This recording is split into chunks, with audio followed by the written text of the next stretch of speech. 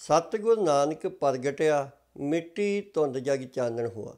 ਸਵਾਗਤ ਹੈ ਪ੍ਰਵਾਸੀ ਪੈੜਾਂ 'ਚ, ਮੇਰੇ ਵੱਲੋਂ ਆਪ ਸਭ ਨੂੰ ਨਿੱਗੀ ਜੀ ਹੈ ਸਭ ਤੋਂ ਪਹਿਲਾਂ ਪੰਜਾਬ ਟੀਵੀ ਅਤੇ ਪ੍ਰਵਾਸੀ ਪੈੜਾਂ ਵੱਲੋਂ ਸਿੱਖ ਧਰਮ ਦੇ ਬਾਨੀ ਸਾਹਿਬ ਸ੍ਰੀ ਗੁਰੂ ਨਾਨਕ ਦੇਵ ਜੀ ਦੇ 550ਵੇਂ ਜਨਮ ਦਿਹਾੜੇ ਦੀਆਂ ਲੱਖ ਲੱਖ ਮੁਬਾਰਕਾਂ ਹੋਣ।